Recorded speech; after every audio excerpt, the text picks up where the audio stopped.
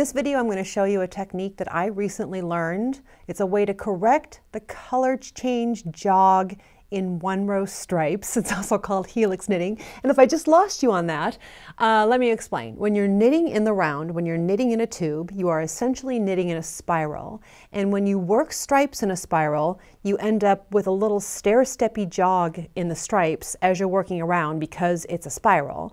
And when you're working stripes that have more than one row per, one round per color, there's a little thing you can do to correct that. And I'll give you a link to my video, which is correcting the color change jog in stripes. Such glamorous names I have for these videos. That's if you have more than one round of each color. Now, helix knitting is a way to not have the stair-steppy jog if you're working one round stripes. Maybe it'll make complete sense when I actually show you what I'm working on here, the, my different samples. One row stripes are really interesting looking because we don't see them very often in knitting because people don't want the jog associated with them. But here's a way to work around that. It's a very cool technique. Let's take a look. Okay, here is a sample with one row stripes. I think they look really cool. But I knit this sample up to show you what we're trying to avoid. Here's the beginning of my round. I knit this whole sample just to be a mess. Here's what we're trying to avoid. The beginning of my round, I've changed colors, and you can see like I knit around in this green, and when I came back around the end of that round, the last stitch is significantly higher than the first stitch, and it just kind of makes a mess here. So we don't have to do that anymore. We can do helix knitting. So here's my good sample. Here is the beginning of my round. Look at that. And I have markers in in different places and each section where I'm changing colors looks really good. Looks perfect in fact. Okay, how do we do it? Let's start with this. What I'm doing here is I'm going to assume that you're using a generic hat pattern, let's say. You can start the cast on row with the different colors. I'm going to start with one solid color. I think it looks better this way because the cast on in helix knitting has to be three or has to be all of the colors. And I think a cast on looks better in one color. The cast on the ribbing in one color, just like I've done here. And then we're going to get started with the one row stripes after that. And then once you have an understanding on it, you can kind of expand and do what you want to do with this.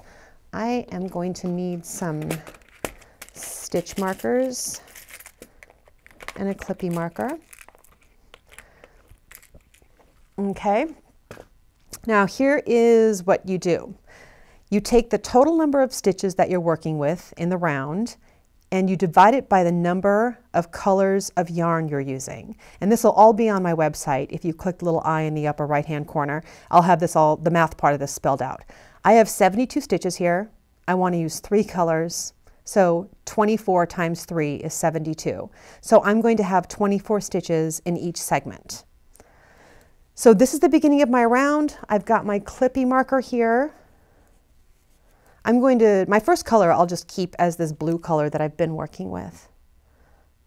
Oops, I only took out two little ring markers. There we go. So I'm going to knit 24 stitches with my first color.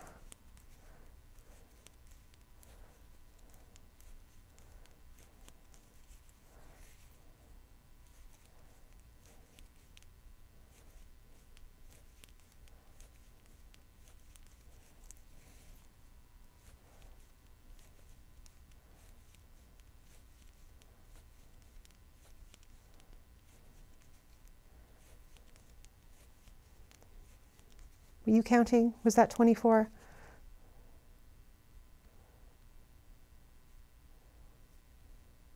It was. Now I'm going to take, going to incorporate my second color. Whoops, that's, that's not my second color. That's connected to something else. Here we go. I'll pop a marker on and just connect my second color here.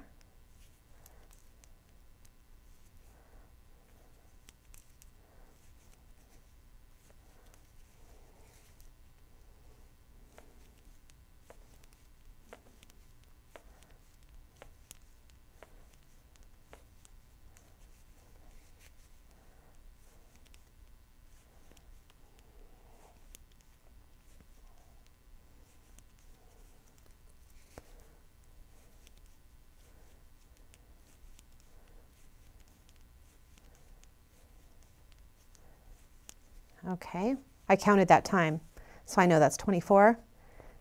And get my third color ready to go.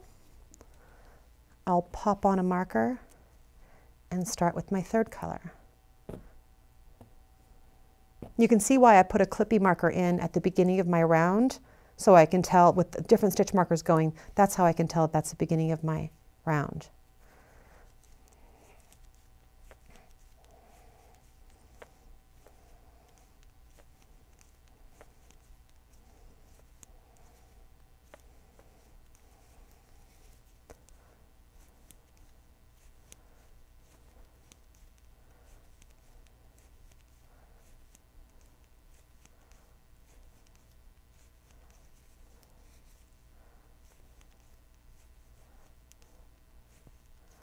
Okay, I'm not going to work that last stitch because I want to keep the stitch marker in place. So what I've got here is a segment of 24 of each one of my three colors. And what helix knitting is, like the best way I've seen it described is the colors are chasing each other around in the tube. Chasing each other, I think of it kind of like relay racers. They're handing the baton off to the next color and chasing it around. So every time you come up to the next color, you just pick up that yarn and start using it. And it just keeps this rotating thing happening. Now, the only exception to that is when you're at the beginning of the round, you just pass up the beginning of the round with the same colors. There's nothing there to change to. So I'm at the beginning of the round. I'm just going to keep going with this pink until I hit the first marker. And that's the way it is at the beginning of the round every time you hit the beginning of the round you work two segments with that same color. But there's not a lot of thinking involved because once you get it set up, the color, you just keep bumping into the next yarn that you need to use. so it's not, you don't have to like keep a chart of, oh, after, you know, 48 stitches I need to knit with blue. Nope. It's, the yarn is just there. It's ready for you.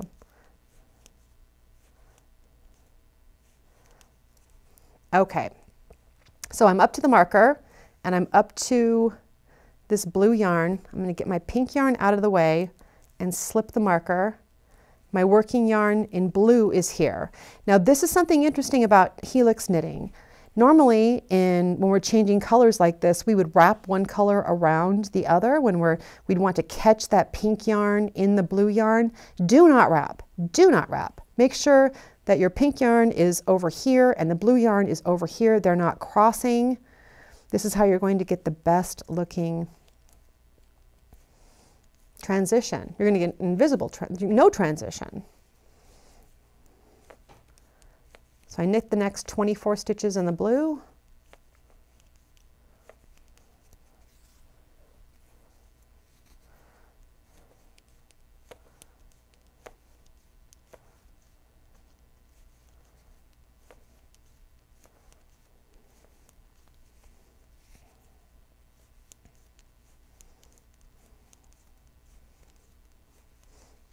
When I get up to that marker, I slip the marker. I'm going to get the blue yarn out of the way.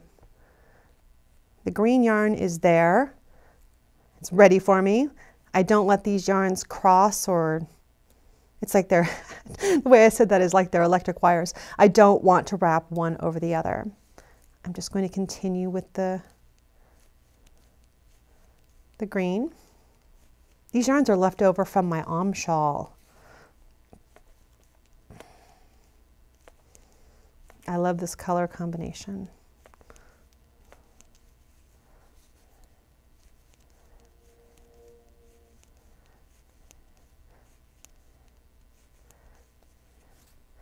And I'm approaching the beginning of the round.